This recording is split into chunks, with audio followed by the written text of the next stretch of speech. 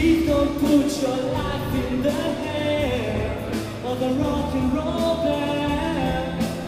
We'll throw it all away.